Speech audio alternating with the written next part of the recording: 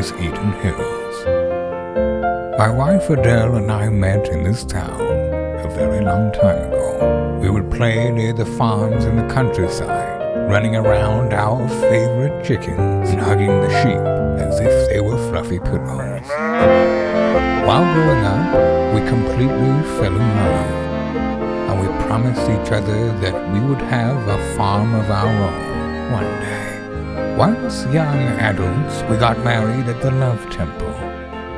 We got our farmhouse, started to build a windmill, took care of our first pigs, ducks, rabbits. Everything was like we always imagined. It was the most beautiful, simple life one could ever dream of. But one day, terrible fire burnt it all. We thought we lost everything. She was destroyed and couldn't imagine this future anymore. I couldn't let that happen. So I got a loan at the bank in town and came home with a horse.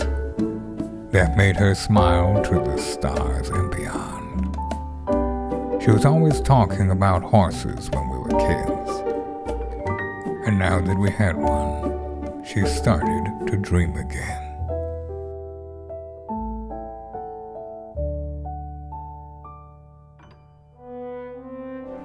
Life went by. We got new animals, bought new crops, grateful of what the earth gave us.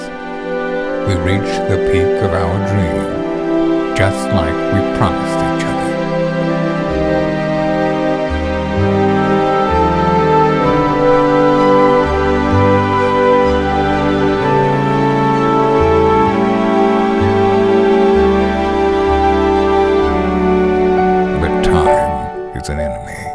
no one can fight.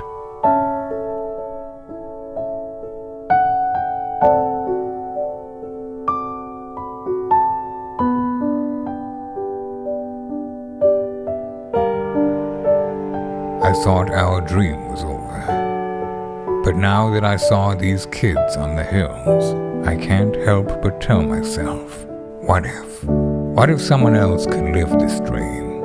Then maybe it would last forever.